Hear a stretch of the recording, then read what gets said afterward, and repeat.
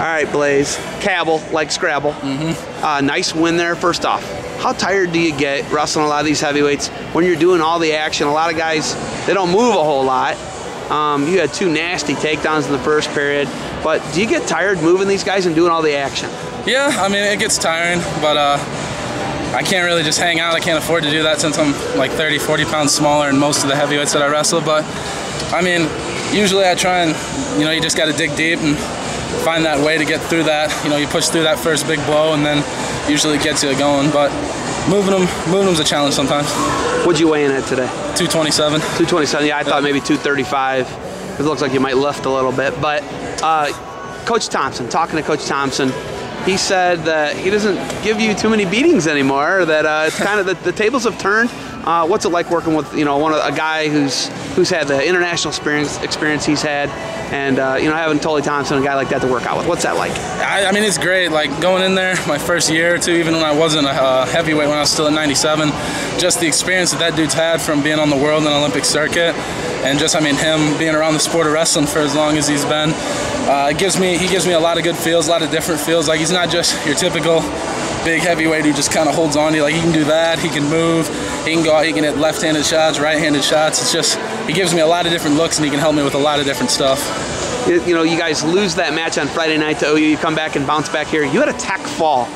How does a heavyweight get a tech fall? How many takedowns did you score on Friday night against Ohio I think it was nine, ten, maybe in that range somewhere. That's not normal for heavyweight. You know that, right? No, I, I, but I, I, like to put up points. I don't. I don't like to do these boring 3-1, 3-2s. You know, 2-1, one nothing ride outs and stuff like. That's not exciting. I feel like when you want to come to a wrestling meet, I mean, you want to see action up and down through the lineup. So that's what I try and bring.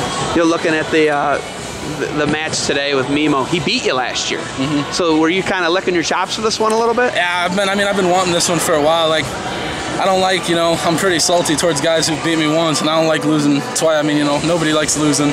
But I was really looking forward to this, and you know, just the situation that it put me in, you know, to be able to beat him and to win the duel was, you know, kind of the double sweet. Uh, you guys will be one two in the MAC. It looks like he was undefeated in the MAC, so it'll be you and him probably. You know, if he can make the finals mm-hmm. too, and you can make the finals, could, we could see a rematch in the MAC championship. You want yeah. that too? Yeah, I mean, potential that'd be.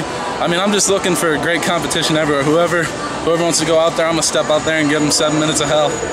I look at that mustache, and it is it is strong to very strong. Do you get a lot of food stuck in that thing? Yeah, I mean, it's uh I got to be careful. you know, with everything, you got to have a napkin for everything. And uh, just kind of chew on it. Sometimes it'll get long in there. You know, syrup's a pain. Looking at, you know, you haven't qualified for the NCAAs yet, right? Uh, no, I qualified last year. You qualified yep. last year at heavyweight? Yep. So as a small heavyweight, you qualified mm-hmm. last year. What do you got to do? You know, you get the first experience. You're not going to have the wide eyes now. Mm-hmm. You're going to be ready to go. Um, having a year under your belt, what do you got to do to go in and break through, be a podium guy, challenge to get in the finals? What do you got to do to be that guy? I mean, just wrestle a high pace, wrestle seven minutes to the best I can, you know, get off bottom, move my hands and feet when I'm on a, a neutral, and, you know, just try and score points. I feel like if I keep my pace high, uh, there's not going to be anyone else in the country who can keep up with it. Not having those three All Americans on the team anymore. You know, you, you guys graduate three All Americans last year. What has that done, and what, as far as leadership, and what have you had to do to make up for that? Uh, I mean, I'm vocal, but not in a leadership. I'm kind of joking usually, but uh, you know, graduating three All Americans like that last year was, you know, those three just, you know, go out there and kind of just do. And I feel like that's kind of the way I want to try and be a leader with the team. You know, maybe not so much trying to rah rah the team up, but just you know, go out there, take care of business, come off, like you know, just lead by example. All right, what do you guys uh, have between here and uh, the MAC tournament? We got uh, Iowa State, I think next Sunday, and then Old Dominion the Sunday after that or Saturday after that. You excited? Yeah, oh yeah. You got anything else for me?